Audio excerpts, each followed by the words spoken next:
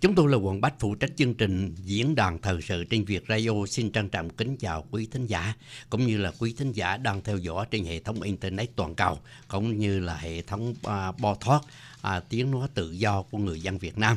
Và thưa quý vị, ngày hôm nay vị khách mời của chúng tôi là luật sư Stephen Deal. À, chúng tôi xin hân hạnh kính chào luật sư Stephen Deal. Dạ, chào chú Quang Bách và chào tất cả thính giả uh, trên đài. Dạ vâng, à, thưa quý à, thính giả, ngày hôm nay à, chúng tôi muốn mời luật sư Steven Deal là để chúng tôi cùng thảo luận một cái đề tài mà có lẽ là quý vị lát nữa đây thì, thì thấy là chúng ta biết là muốn vinh danh à, thượng nghị sĩ John McCain. Tại sao chúng ta vinh danh thượng nghị sĩ John McCain?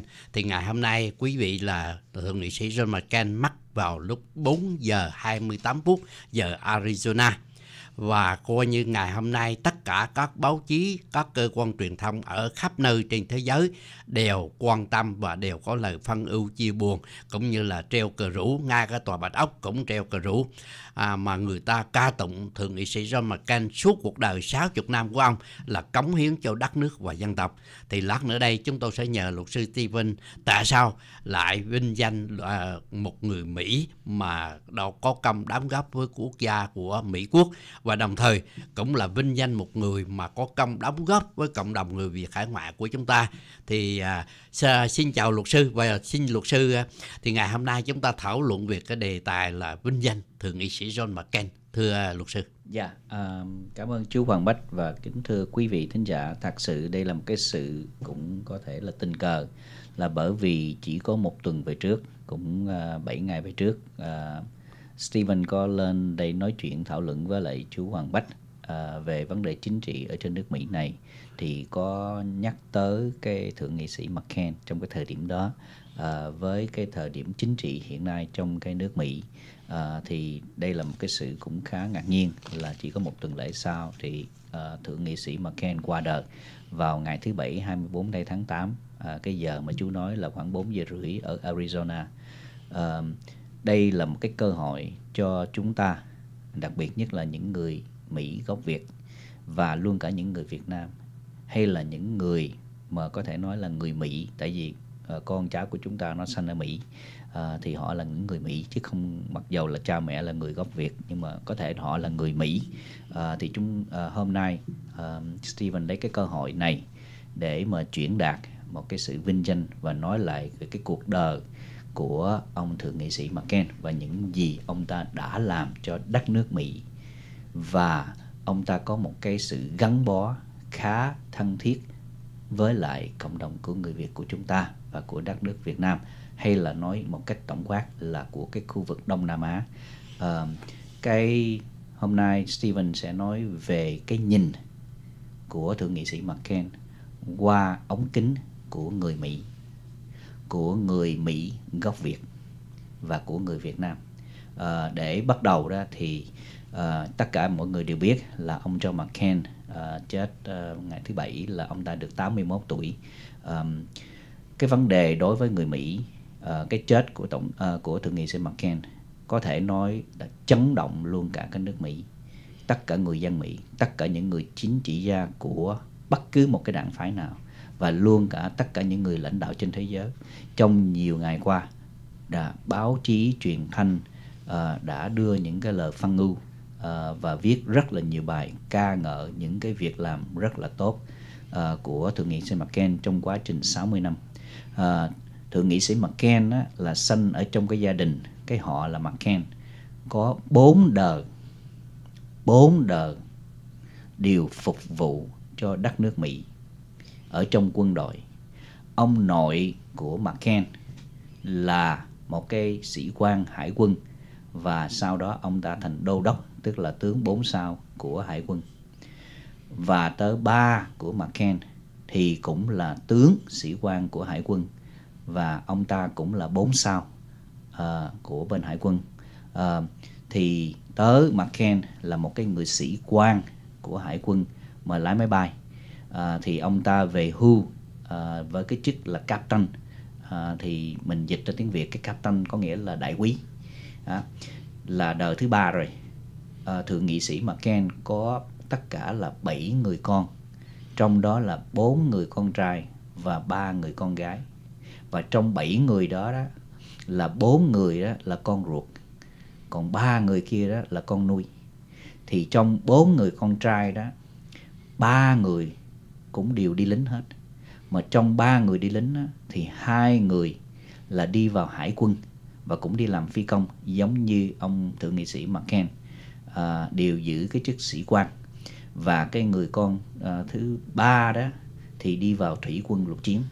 Chúng ta có thể nói là cái sự phục vụ của dòng họ McCain đối với nước Mỹ là bốn đợt à, và tổng ờ, à, thượng nghị sĩ McCain là 60 năm nguyên cả cuộc đời ông ta tức là khi mà ông ta à, ra trường 17 tuổi và bắt đầu đi học vô trường đại học à, viện hải quân đó và cho khi mà ông ta qua đời là hoàn toàn phục vụ cho đất nước.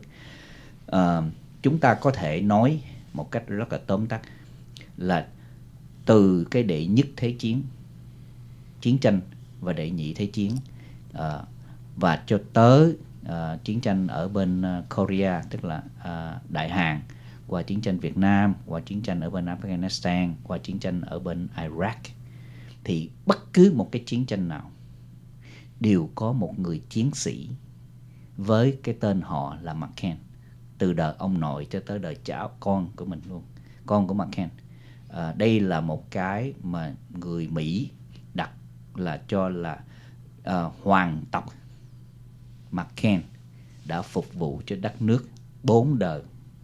À, và nếu mà quý vị chúng ta à, mà có uống bia mà bia Bud Light hay là Michelob Light quý vị đang uống bia của gia đình McCain là bởi vì cái hãng bia uh, Anheuser-Busch đó là của vợ McCain hay là của bên gia đình vợ McCain mà bây giờ cái người con trai lớn của McCain là giám đốc điều hành bởi vì người vợ thì về hưu uh, lo cho ông chồng là thượng nghị sĩ McCain uh, ờ, cái dí dỏm uh, có thể nói là gia truyền ở trong gia đình McCain uh, này một cái rất là dí dỏm.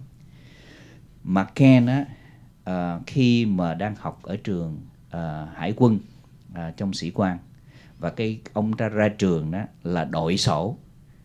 À, cái um, cái số sinh viên học sinh ra trường à, sĩ quan đó là 899 à, thượng nghị sĩ McCain đó, học rất là giỏi nhưng mà hãnh kiểm tức là về vấn đề không nghe là không có làm đúng theo cái trật tự hãnh kiểm rất là xấu. Thành ra ông ta đổi sổ ra trường hạng 894 tức là à, gần chót. dạ đứng thứ năm à, từ ở dưới đếm lên. À, nhưng mà ông ta rất là vui vẻ bởi vì ông ta nói cái này là cái sự truyền thống của gia đình à, thì mình mới coi lại coi ba của McCain là đại tướng. Nhưng mà khi mà ông ta đi học là sinh viên đó thì ông ta cũng đổi sổ luôn. À, và cái lớp học của ông ta đó là 441 à, sinh viên ra trường sĩ quan hải quân. Thì ông ta ra trường đó là 423 tức là à, à, thứ mười hạng thứ 19 đếm từ ở dưới đi lên. À, thành ra khi mà thượng nghị sĩ McCain ra à, hạng là à, gần hạng chót đó 894 trên 899 á, thì ông già tức là đại tướng nó nói thằng con tôi nó bắt chước tôi đó. Chỗ này thì, thì nhờ luật sư cũng nói rõ thêm đó là không phải là ông uh, McCain hay là dòng họ McCain học dở học rất giỏi. Nhưng mà cái tính tình á, là không muốn người khác chỉ thị uh, không muốn nghe lời bất cứ ai. Tức là có một người nào cai trị đó tính của ông rất là độc lập ông yeah. Dạ. muốn là thoải mái theo cái quan điểm của ông đúng. Kể cả khi ông làm thượng nghị sĩ mà một cái dự luật hay cái gì đó mà ông thấy là không có phù hợp với đất nước và dân tộc thì ông không bỏ phiếu. Mặc dù chủ, chủ trương ông là đảng cộng hòa cộng hòa đưa ra nhưng mà ông vẫn không đồng ý. À, thì cái quan điểm của ông McCain hay là dòng họ của ông đó hợp rất là giỏi. Nhưng mà cái dạ, tính tình là không muốn bị cai trị tức là tính tình độc lập phải không dạ, thưa luật sư cái này là nó nói cái cái này là cái điểm hạnh kiểm. Cái nét đặc thù của của dòng họ. Yeah, dạ, uh, cứng đầu không uh, thích uh, theo cái khuôn khổ uh, theo cái kỷ luật.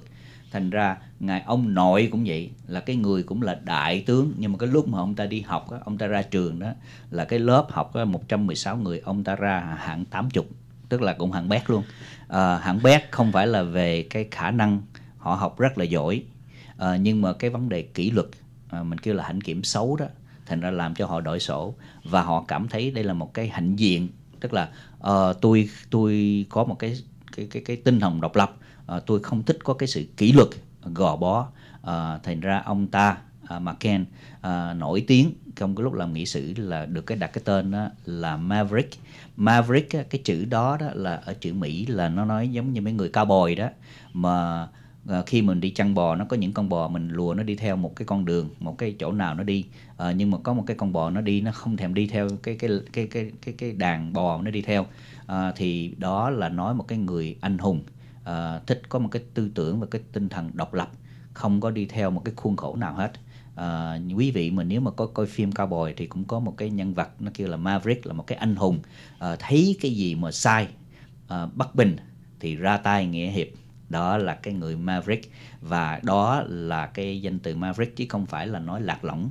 À, dịch cái chữ lạc lõng thì nó không có chính xác với cái danh từ Maverick. Maverick là người độc lập à, có cái cá tính ờ, anh hùng. À, hay là chúng ta có thể dùng cái danh từ của người Việt Nam kia là quân tự tạo. Thấy cái gì mà bất bình thì nhào vô làm để mà đem lại cái sự công bằng.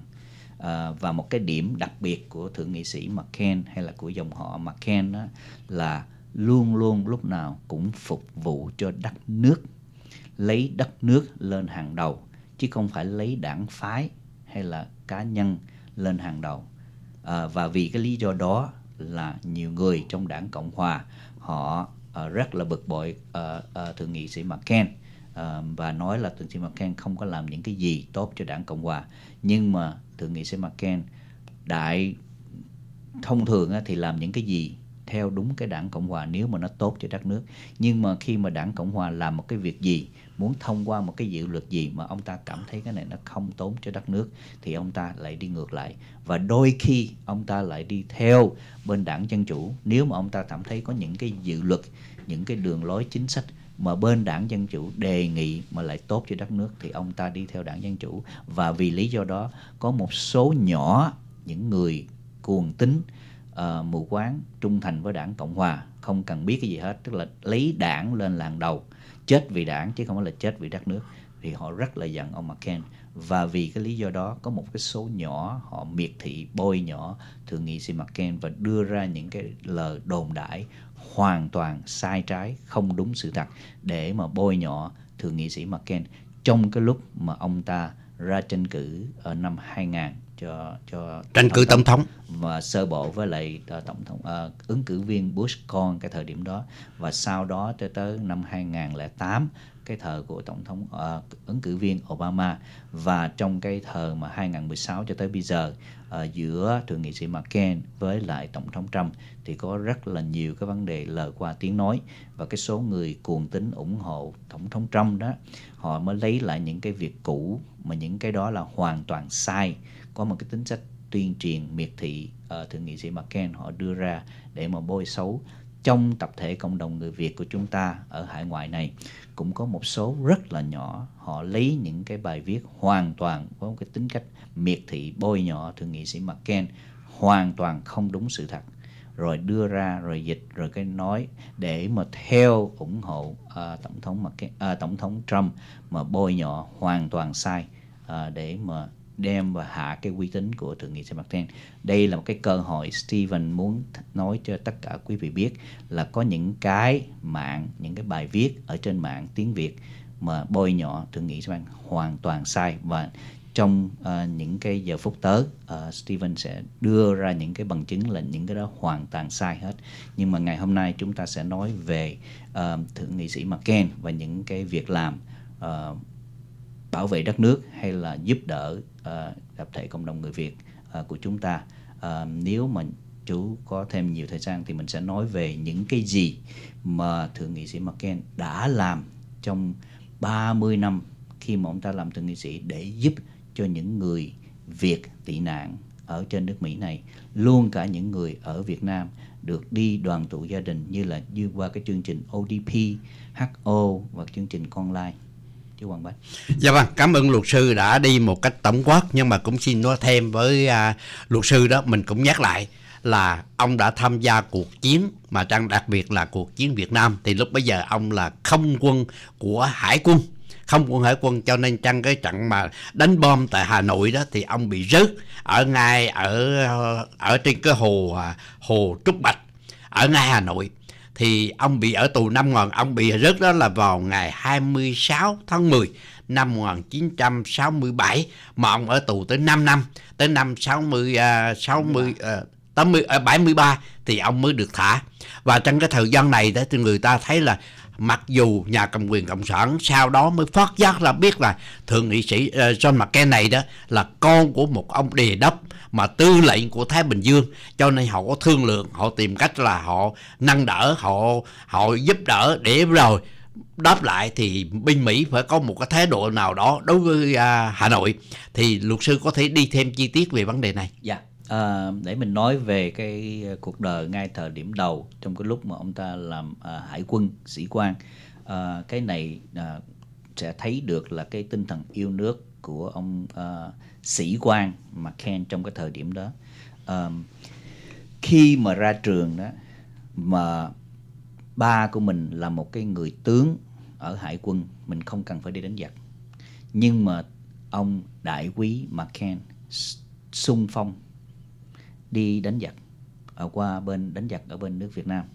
À, mà cái lời điểm đó đó ông ta mới vừa lấy vợ và mới sinh một đứa bé tức là con gái lớn à, đầu tiên của thượng nghị sĩ McCain à, người vợ đầu tiên của à, của ông McCain đó, thì có hai người con trai. Thành ra ông ta sinh và nuôi luôn làm làm ba nuôi của hai người con trai của cái người vợ đầu tiên và hai người đó có một đứa con gái.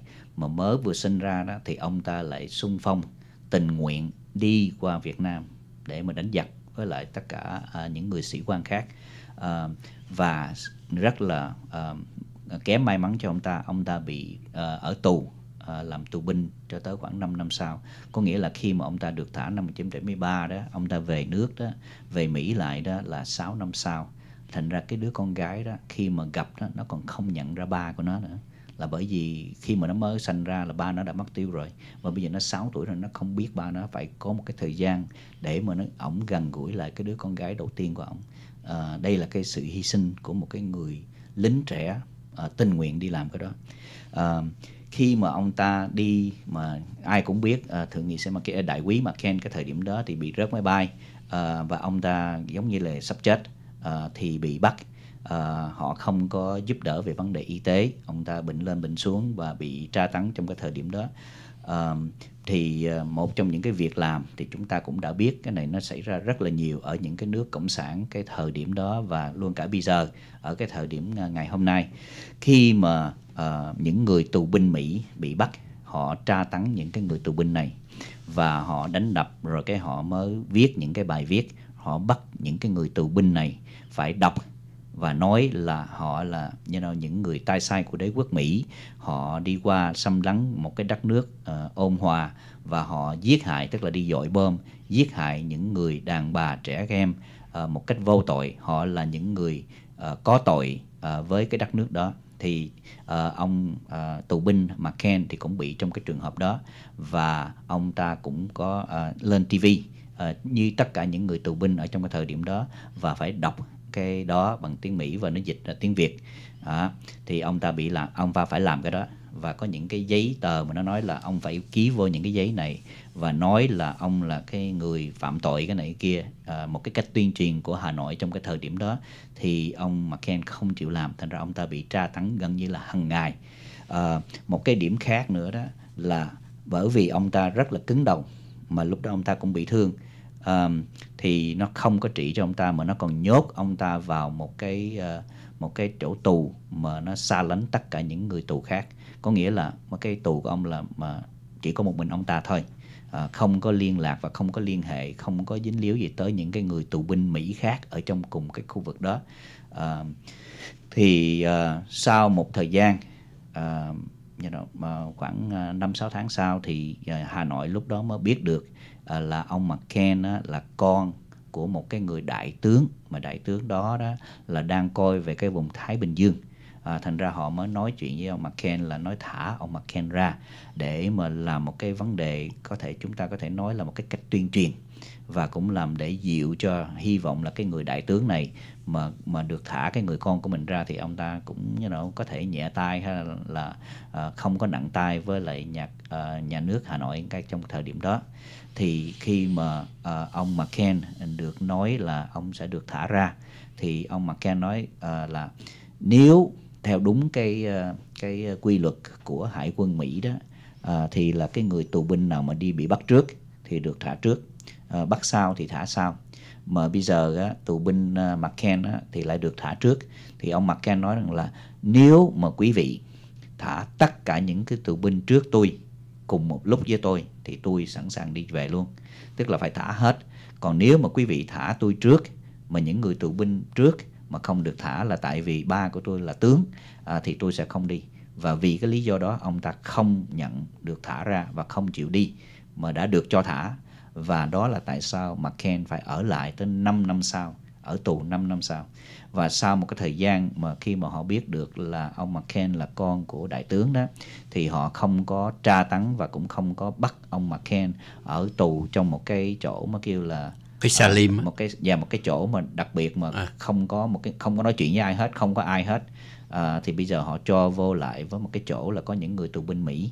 À, thì đó là tại sao có những người tù binh mà là bạn của McCain trong cái thời điểm đó à, cái lý do mà Steven phải đưa ra rất là chi tiết những cái vấn đề đó là bởi vì trên mạng mà những người mà miệt thị và trong đó luôn có có những cái mạng của người Việt Nam là nói McCain là một cái người phản quốc bán đứng nước Mỹ hợp tác với lại Hà Nội. Đó là hoàn toàn sai. Và họ cho ông McCain gán cái tên của McCain nếu quý vị và chú Hoàng Bách nhớ trong cái thời điểm đó có một cái người tài tử nữ đó là tên là Jane Fonda. À, bà ta đi qua nước à, qua Hà Nội chụp hình và giúp Hà Nội tuyên truyền.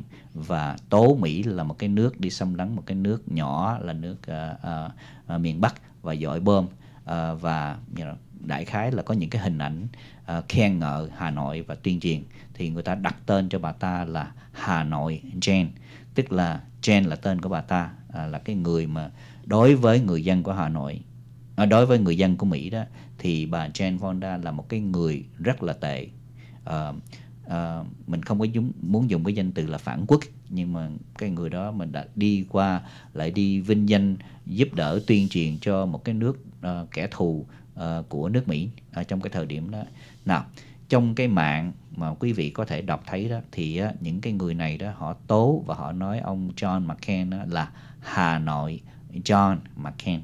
Là bởi vì họ nói là ông McCain đi uh, ca tụng uh, Hà Nội và họ đưa ra cái hình ảnh mà ông ta ở trên TV mà ông ta khai đó là bị đánh và khai như tất cả những tù binh khác.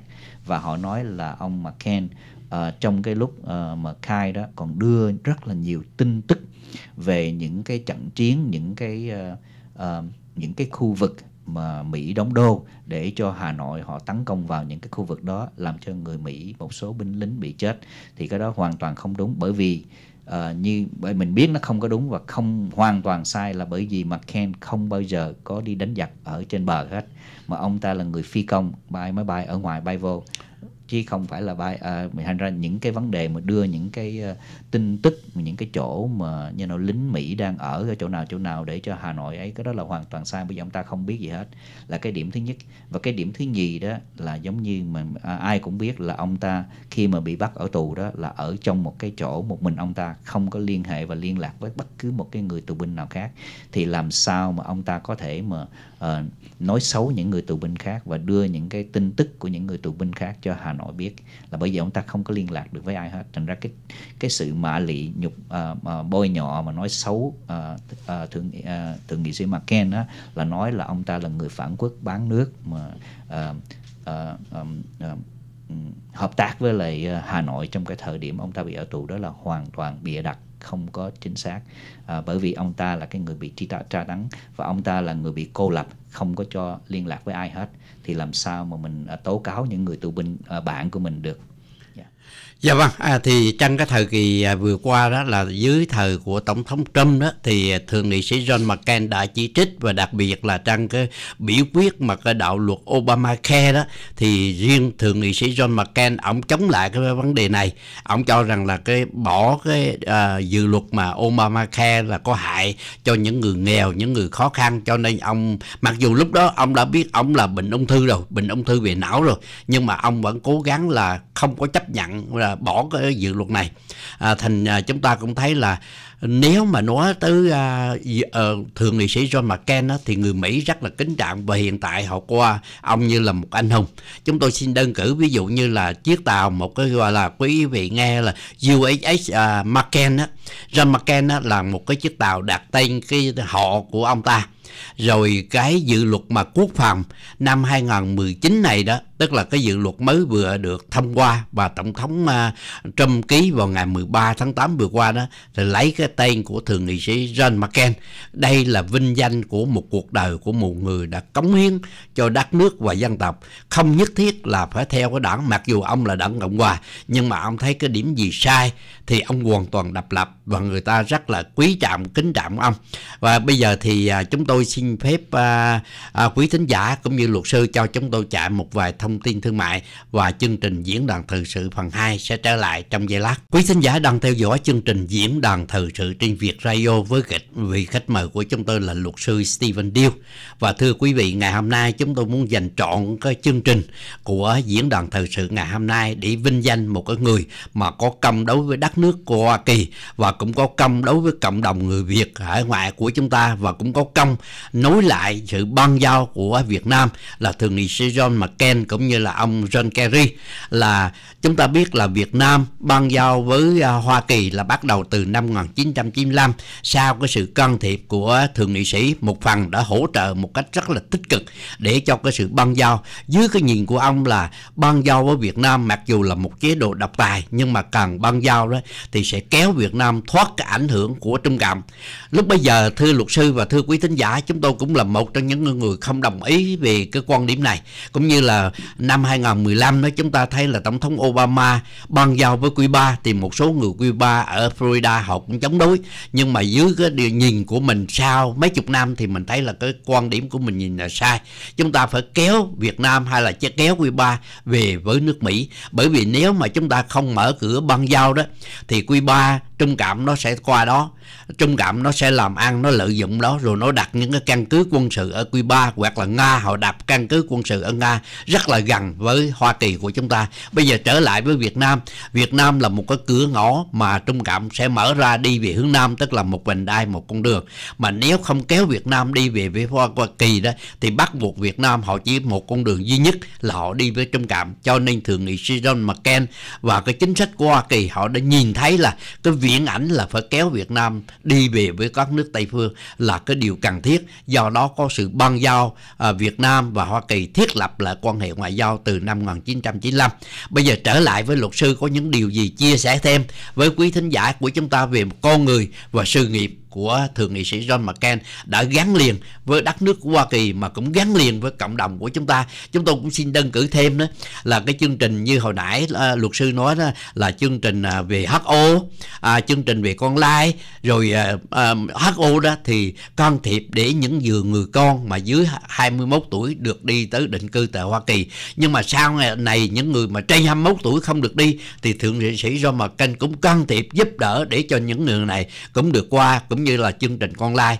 Và đặc biệt là chúng ta thấy mới đây năm ngoái thì à, nhạc sĩ Việt Khang mà qua đây là một phần cũng nhờ sự can thiệp của thượng nghị sĩ John McCain. Cho nên chúng ta thấy cuộc đời của ông John McCain gắn liền với đất nước và dân tộc Hoa Kỳ. Nhưng mà nó cũng gắn liền với cộng đồng của chúng ta. Khi nào mà những cái đạo luật nào mà cần thiết đó thì chúng ta đi gần với thượng nghị sĩ John McCain thì đều ông hỗ trợ một cách tích cực thưa luật sư. Dạ đúng vậy. Trước khi mà mình nói về những cái thành tích uh, mà của uh, thượng nghị sĩ McCain giúp đỡ tập thể cộng đồng người Việt ở hải ngoại này. Uh, và những cái việc làm của ông ta mà chúng ta là những người Việt ở hải ngoại cần phải nhớ ơn uh, thượng nghị sĩ McCain thì mình cũng muốn bổ túc một cái vấn đề. Uh, ngoài cái việc mà quốc hội vinh danh thượng nghị sĩ McCain bằng lấy cái tên của cái đạo luật uh, mới vừa thông qua và được cái chữ ký của tổng thống Trump đó uh, lấy cái tên là cái đạo luật John McCain. Uh, McCain là cái người bảo vệ cái quyền lợi của tất cả những người lính Mỹ và cựu quân nhân Mỹ. Thành ra cái cái cái cái đạo luật đó, đó nó cho một cái số tiền rất là lớn cả trăm tỷ uh, trong đó cả tỷ đồng cho tất cả những người quân nhân của gia đình quân nhân và của những người cựu quân nhân uh, đi lính Mỹ. Đây là cái việc làm mà uh, thượng nghị sĩ McCain làm hàng ngày. Uh, trong một cái buổi phát biểu uh, uh, ở trên đài ờ, ờ, uh, uh, ABC thì cái người cựu đại tướng ngày xưa mà nổi tiếng là ông uh, David Patriot uh, tướng 4 sao mà về hưu. Uh, mà cái người mà đánh chiến tranh mà đem cái sự uh, uh, an bình và uh, hòa bình ở bên uh, Iraq đó thì có hỏi ông ta thì ông ta nói là cái cái này nói nó nó rất là um, uh, cảm động. Ông ta nói rằng là uh, quý vị có biết không? Sau cái à, ngày 2001 tức là 911 đó mỗi năm hàng năm ông thượng nghị sĩ McCain tới cái ngày uh, độc lập của đất nước Mỹ tức là cái ngày July 4 đó ông ta bay qua bên Afghanistan hay là bay qua bên Iraq ông ta ăn mừng với lại tất cả những người chiến sĩ trong cái ngày độc lập của nước Mỹ. Và hàng năm cho đến khi nào ông ta bệnh ông ta không đi được có nghĩa là ông ta mặc dù là thượng nghị sĩ, mà thay vì cái ngày lễ đó là mình ở nhà mình chơi, mình ăn barbecue với bạn bè mình hay là gia đình, thì ông ta bay qua bên trong những cái mặt trận, ông ta ngồi ăn uống cái ngày đó với lại những người chiến sĩ đang đến giặc ở trong cái thời điểm đó. Trong cái chiến tranh của Iraq, Afghanistan, con trai của thượng nghị sĩ McCain là cái người sĩ quan thủy quân lục chiến có mặt ở trong những cái chiến tranh đó. Một cái vấn đề uh, mà mình nói về cái vấn đề của người Việt tị nạn ở đây thì cái này nó hơi dài một tí mình sẽ nói. Uh, nào thượng nghị sĩ McCain á ông ta bắt đầu đi vào quốc hội làm cái người hạ nghị sĩ đó là năm 1982 cho tới năm 1986 hay là 80 uh, 80, 87 87 đó thì uh, ông ta đi ra tranh cử cái chức thượng nghị sĩ và ông ta đắc cử thành ra 1988 ông ta là cái thượng nghị sĩ đại diện tới tiểu bang Arizona cho tới bây giờ. Um, uh, mình nói về cái người tị nạn Việt Nam và tất cả những cái đạo luật bảo vệ người tị nạn Việt Nam thì chúng ta biết là trước Ờ, uh, 1980 đó tức là năm 1975 đó thì nó có cái chương trình nó kêu là cái đạo luật trợ giúp người tị nạn và di dân Đông Dương. Cái thời điểm đó là của tổng thống Ford để mà giúp tất cả những người tị nạn uh, ra khỏi nước Việt Nam trong cái cuộc chiến tranh 1975 uh, ờ, nó kéo dài qua tới 76 đó thì nó qua tới 1977 tức là cái thời của tổng thống Jimmy Carter. Nào uh, lúc đó đó ông uh, ông McCain chưa có vào quốc hội mà ông ta chỉ là một cái người nhân viên ở trong quân đội thôi. À, à, tức là đi làm ở, ở trên Washington DC nhưng mà chưa có vào quốc hội cho đến năm 1982 à, thì tất cả những cái đạo luật này chúng ta đã biết và nó đưa cho những người Việt tị nạn à, ở những cái khu vực Đông Nam Á qua nước Mỹ này. Cho đến năm 1000 à, 1979 á, thì ở Liên Hiệp Quốc Ủy ban tị nạn đó, nó ra một cái chương trình và nước Mỹ hoàn toàn đồng ý và tham gia vào cái chương trình đó là bắt đầu năm 1979 đó là cái chương trình ODP ODP đó là cái chương trình đoàn tụ gia đình. Nó kia là Orderly Departure Program đó. Thì trong cái chương trình ODP đó nó có gồm 3 thành phần. Thành phần thứ nhất đó là đoàn tụ gia đình. Thành phần thứ nhì đó là bảo lãnh tất cả những người cựu nhân viên mà ngày xưa làm việc cho chính quyền Hoa Kỳ hay là chính phủ Hoa Kỳ. Và cái thành phần thứ ba đó là bảo lãnh tất cả những người tù nhân cựu chiến binh Việt Nam Cộng Hòa ra khỏi nước Mỹ. Và cái thành phần thứ ba đó, mình mình chúng ta biết nó kêu là cái chương trình HO cái chương trình HO đó, tiếng Mỹ nó là Humanitarian Operation, là một cái chương trình nhân đạo nằm ở trong một cái đạo luật lớn, đó là đạo luật ODP đây là ba cái thành phần được đi qua Mỹ bắt đầu 1979 à, nhưng mà nó lại không thực hành được cho đến năm 1982 là tại vì Hà Nội trong cái thời điểm đó đó không chịu hợp tác với lại chính phủ Mỹ. Thành ra cái vấn đề mà đoàn tụ gia đình hay là cho những người HO đi qua Mỹ đó, nó nó bị khựng lại là cho đến khi nào nước Việt Nam, nhà nước Việt Nam, cái thời cộng sản Việt Nam lúc đó chịu hợp tác mới cho người ta đi thì mình mới mình mới, tức là bên đây mở cửa rộng ra à, cho những người đó đi đoàn tụ gia đình và đi qua nước Mỹ nhưng mà nhà cầm quyền cộng sản Việt Nam cái thời điểm đó không nó chưa chấp nhận chưa chấp nhận yeah. Yeah. chưa chấp nhận thì à, năm 1982 nó mới thông qua cái lúc đó là thượng nghị sĩ McCain là cái người dân biểu ở trong uh, uh, hạ viện thì ông ta cũng bỏ phiếu nhưng mà ông ta là mới là cái người mới cho đến khi năm 1988 thì cái đạo luật à, về à, HO đó, đó bảo lãnh à, à, mấy người đó đó thì nó được đưa ra ngoài quốc hội và ông ta cái lúc mà ông ta mới vừa làm thượng nghị sĩ mới được đắc cử cái năm 1958 thì cái đạo luật nó ra thì ông ta là cái người ở trên thượng viện bảo lãnh cái đạo luật đó và thông qua cái đạo luật đó và trong cái thời điểm mà ông ta thông qua đạo luật đó là bắt đầu vô năm 1988 mà 1888 đó thì ông ta mới thuyết phục nhà nhà nước Việt Nam là nên hợp tác cái này tốt cho đất nước Việt Nam. À, thì cái thời điểm đó nó cũng hơi thay đổi một tí là chú biết là cái thời điểm đó nước Việt Nam đó nó có cái chương trình đổi mới. Ừ. à, và nhà cầm quyền cộng sản Việt Nam đó cũng muốn cố gắng hợp tác với lại nước Mỹ để mà mở mang về vấn đề kinh tế nhưng mà chưa lúc đó chưa có ban giao thưa luật sư chưa có ban giao dạ, dạ nhưng vâng. mà cố gắng làm mà nó tới ban giao tới 1995 nhưng mà nhờ cái đó là họ sẵn sàng hợp tác với lại uh, chính phủ Mỹ thành ra cái chương trình HO cái chương trình mà con lai nó mới được thông qua và nó bắt đầu cho đi là bắt đầu từ 1988 nhưng mà ở trên thượng viện chúng ta muốn nói là nhờ cái công của uh, thượng nghị sĩ một cái người mới vô thượng nghị sĩ ở trên thượng viện uh, bảo lãnh cái đạo luật này và thông qua là bắt bảo trợ bảo trợ, thì đúng rồi. dạ, yeah. bảo trợ cái chương trình đó. Nào cái chương trình mà ODP HO và bảo bảo uh, uh, bảo lãnh con lai đó là nó đi đó là bắt đầu 1988 cho tới năm 1994 á, là nó hết nó hết cái ờ, cái ờ, cái đạo luật đó thì cũng là thượng nghị sĩ McCain 1994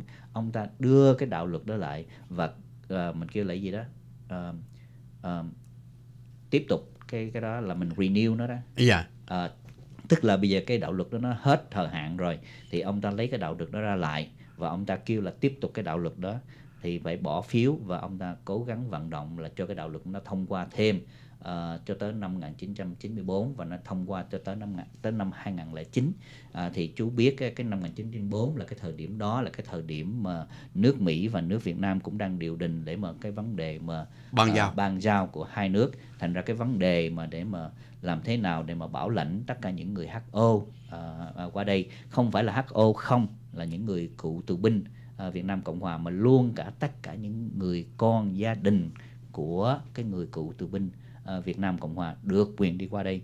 Và trong đó cũng có cái chương trình của những người con lai mà không phải con lai đi không mà gia đình của những người con lai được quyền đi luôn. Tức là có một cái sự uh, di dân à, đoàn tụ gia đình và cho tất cả những người nó đi qua những cái đợt đó rất rất rất là nhiều người và nó tạo ra cái tập thể cộng đồng người Việt của chúng ta là tất cả những cái đạo luật đó là đều có tên và có cái sự bảo trợ và cái sự vận động để mà thông qua của thượng nghị sĩ McCain ở trên thượng viện.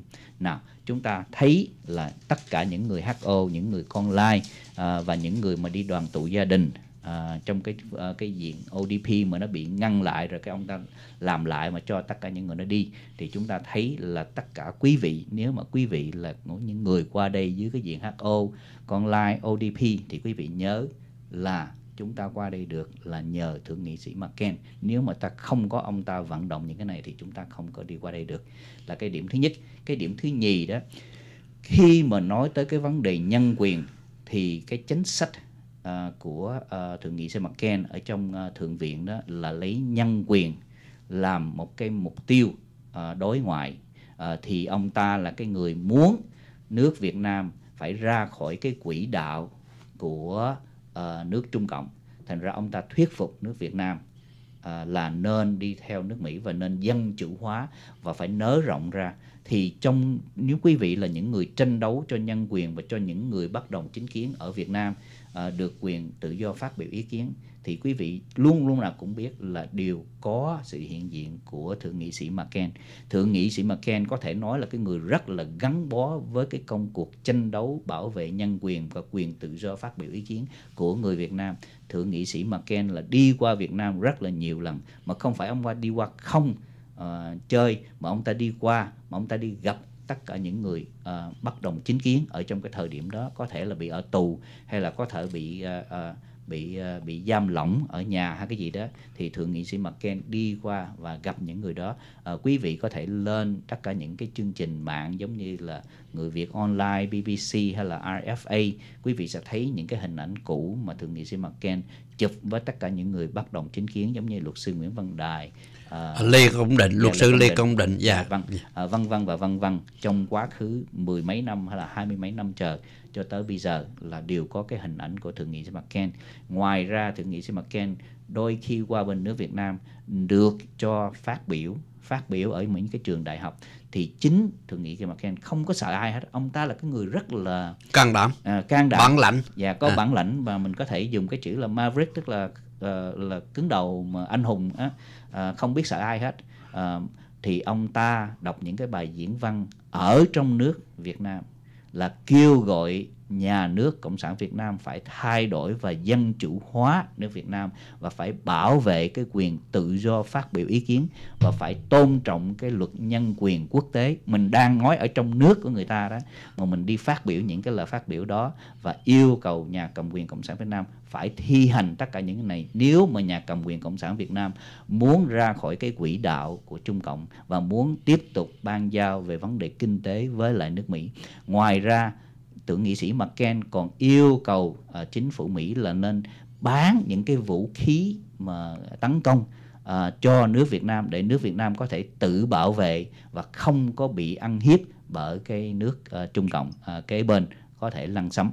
À, thì đó tất cả những cái việc làm đó là những cái việc làm mà của thượng nghị sĩ McCain cho đất nước Việt Nam mình.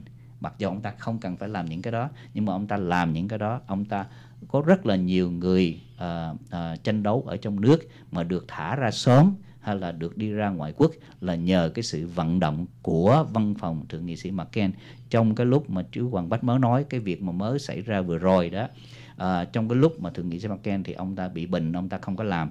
Nhưng mà văn phòng thượng nghị sĩ McCain có mướn một cái cô à, người Mỹ gốc Việt à, rất là giỏi à, làm là một cái người nhân viên. Thì cô ta dưới cái sự ờ, chỉ thị của thượng nghị sĩ McCain là vận động cho cái sự thả của cái người tranh đấu ờ, uh, bất đồng chính kiến là anh Việt Khang qua được nước Mỹ này. À, đây là những cái việc làm mà nếu mà quý vị là những người tranh đấu, quý vị theo dõi, quý vị cũng phải đều biết và phải xác nhận hay là công nhận là thượng nghị sĩ McCain là một cái người rất là gắn bó với tập thể cộng đồng người Việt và cũng là cái người có thể nói là nước Việt Nam bây giờ mà có một tí cái sự tự do à, về vấn đề phát biểu ý kiến về vấn đề nhân quyền và cái nền kinh tế của Việt Nam mà đưa được dễ thở và cái sự mà nó không còn ở trong cái quỹ đạo của nước Trung Cộng à, trong mấy mười mấy năm về trước là phải nhờ là cái ơn của thượng nghị sĩ MacKen, chú Hoàng Bách.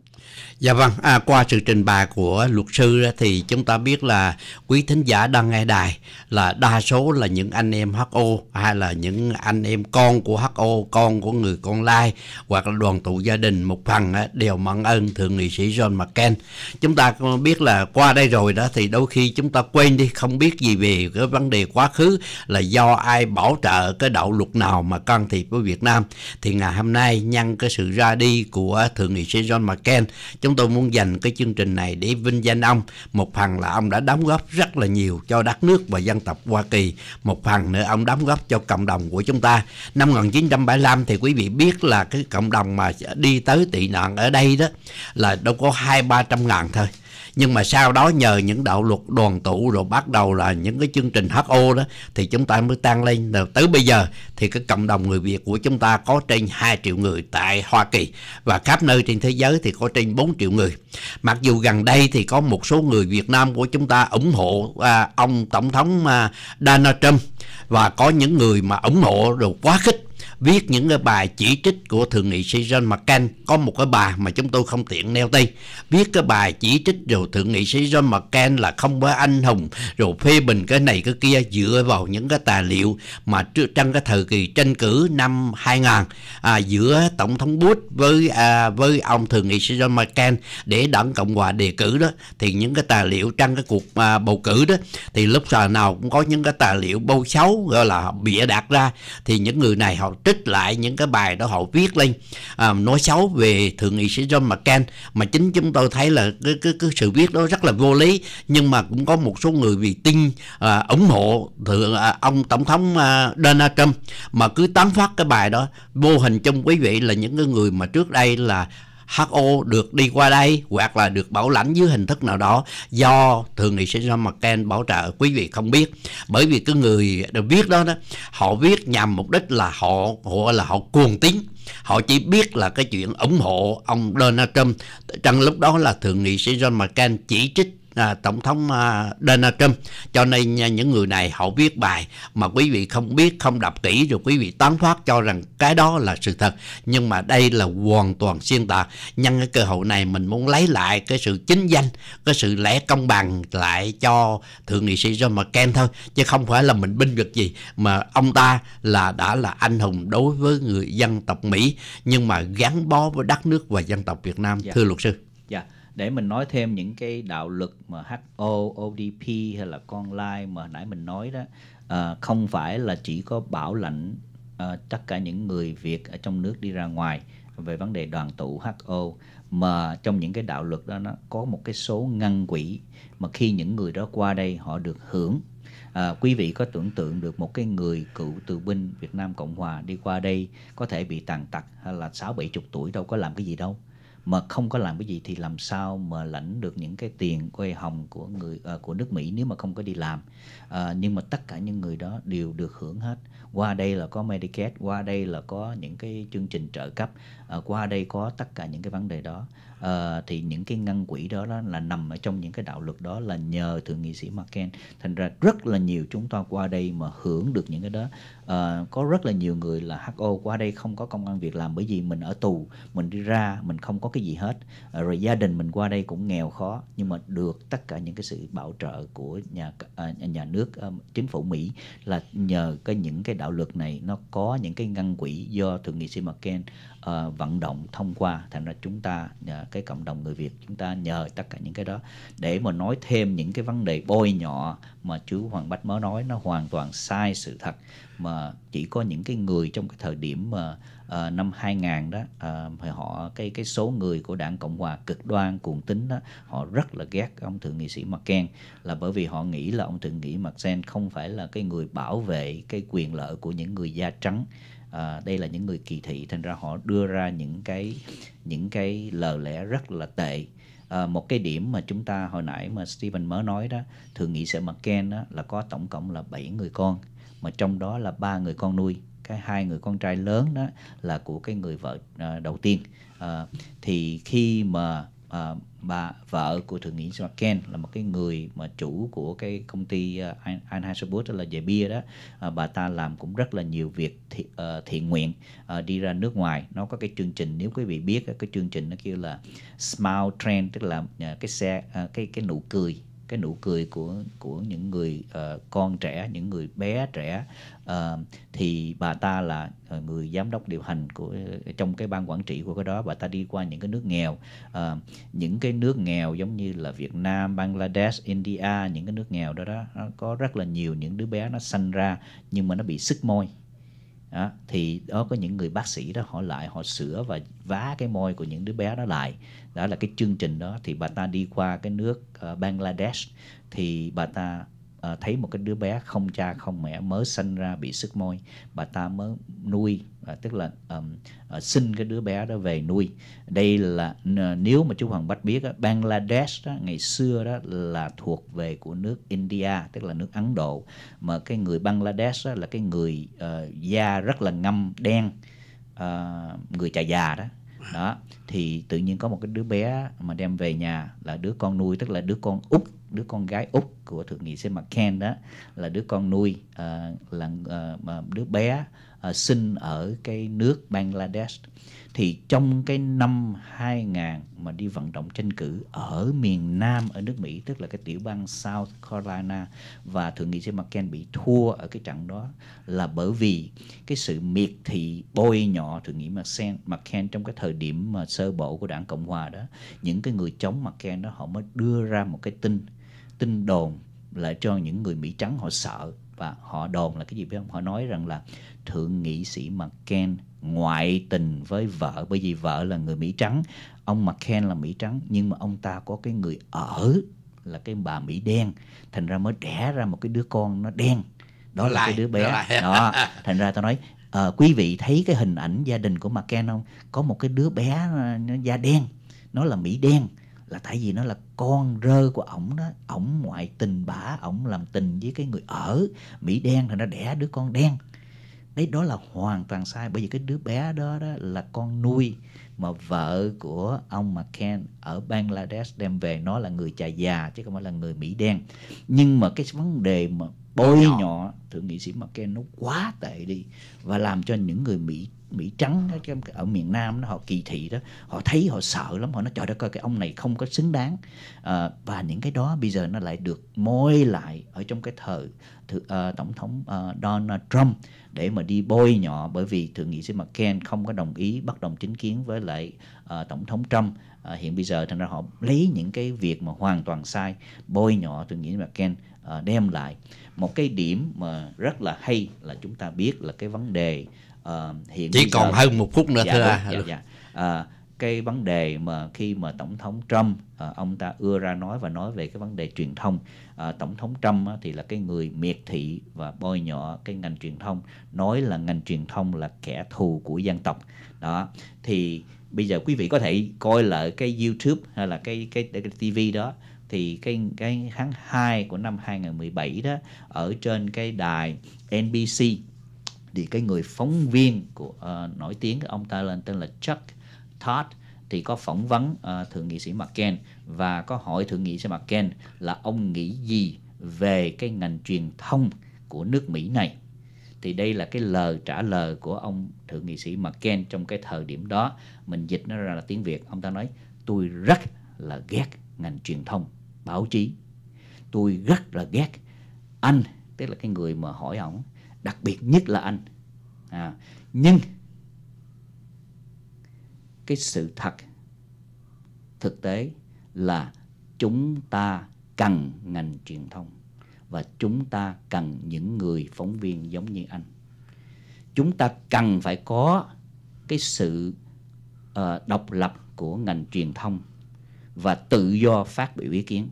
Bởi vì nếu không có cái ngành truyền thông và tự do phát biểu ý kiến, thì không thể nào có một cái xã hội tự do và dân chủ. Quý vị ngành truyền thông và anh người phóng viên là một cái rất là quan trọng trong cái xã hội của một cái xã hội tự do và dân chủ. Chúng ta người nào muốn bảo vệ và bảo tồn cái xã hội tự do và dân chủ thì chúng ta phải cố gắng bảo vệ cái ngành truyền thông. Bởi vì cái ngành truyền thông là cái mạch máu của đất nước. Cái đó là cái lời phát biểu của tượng nghị sĩ McCain có nghĩa là ông rất là ghét bởi vì chính ngành truyền thông cũng phê bình chỉ trích ông ta. Nhưng mà ông ta nói rất là đúng là cần phải có ngành truyền thông. Ngành truyền thông là cái mạch máu để mà bảo vệ cái sự sinh tồn của một cái đất nước ngành truyền thông là bảo vệ cho cái sự tự do và cái sự dân chủ của một cái xã hội của một cái đất nước đó. Dạ vâng, à, rất tiếc là tới đây thì thời thời gian đã hết giờ. À, chúng tôi nghĩ rằng là cái tang lễ của thượng nghị sĩ John McCain thì có lẽ sẽ đưa lên Washington ở ngày ở quốc hội và cái ngày mà đưa tang lễ thì chúng ta cũng chưa biết. Nhưng mà nhân cái cơ hội này chúng tôi à, à, xin à, chia buồn với gia đình của thượng nghị sĩ John McCain cũng như cầu nguyện cho ông được sớm về của của nước Chúa. Và chúng tôi xin uh, kính chào uh, quý thính giả và cảm ơn quý thính giả đã lắng nghe. Cũng cảm ơn luật sư đã đóng góp trong chương trình này. Xin mời luật sư có lời chào và chúng ta đã hết giờ. Dạ, uh, kính chào chú Hồng Bách và chào